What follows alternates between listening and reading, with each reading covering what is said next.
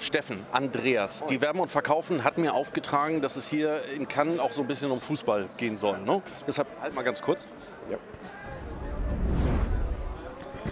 Steffen, im Wettbewerb der Nationen in Sachen Kreativität, so wie ticken da die verschiedenen äh, Staaten und Nationen? Was ist dir aufgefallen?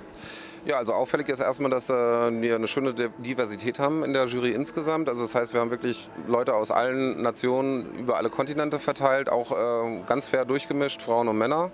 Und eben Player aus allen Bereichen sind mit dabei.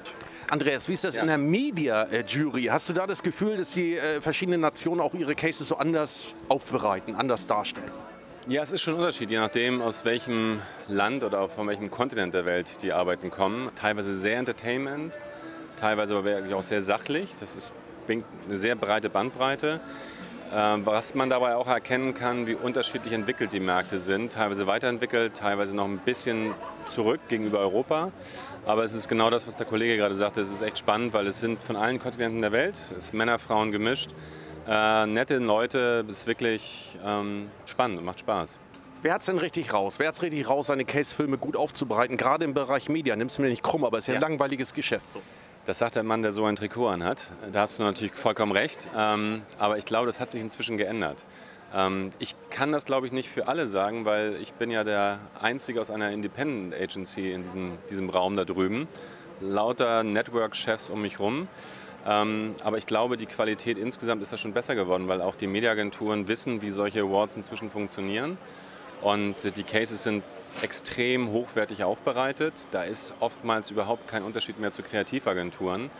Ähm, also von daher würde ich das nicht so ganz unterschreiben, wie du es gerade formuliert hast.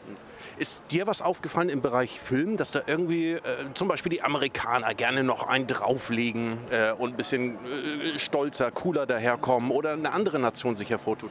Ja, also positiv ist auf jeden Fall, dass schon mal der Vignettenfilm ein bisschen auf dem äh, absteigenden Ast ist, was ganz angenehm ist. Ähm, ansonsten, man sieht schon sehr stark, dass äh, in asiatischen Ländern ist viel mehr emotionaler Film gefragt. Äh, die Briten trumpfen halt mit krassestem Humor auf und sind auch gerne ein bisschen eckiger und kantiger.